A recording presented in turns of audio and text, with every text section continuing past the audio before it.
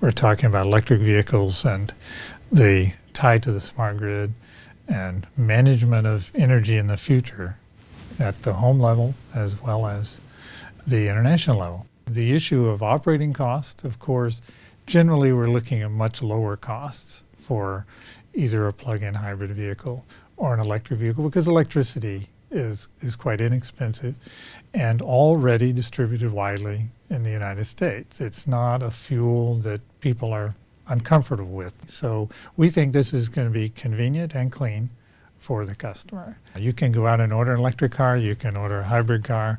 Uh, the initial electric cars are more expensive because the batteries are more expensive.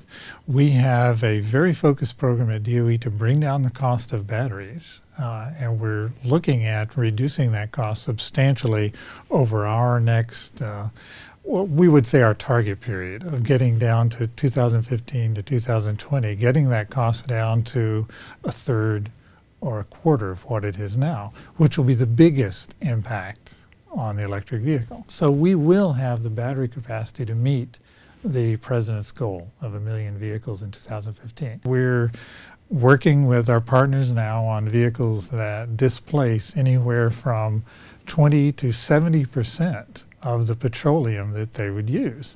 And so the effective fuel economy for vehicles is very high. I mean, generally, the cars coming on the market have an effective fuel economy of over 100 miles per gallon when you look at their total use of energy and the relatively small amount of liquid fuel that you would have to put in a plug-in hybrid or of course no fuel in an electric vehicle.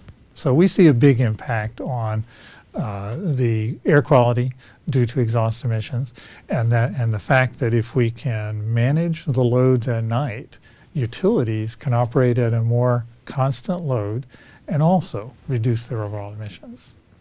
The European uh, market, of course, is, is very important uh, not only to Europe, but to the U.S. and, and Asia because of the products that are developed by our multinational companies. We share uh, General Electric, Siemens, uh, Bosch, uh, in the uh, Ford, for example.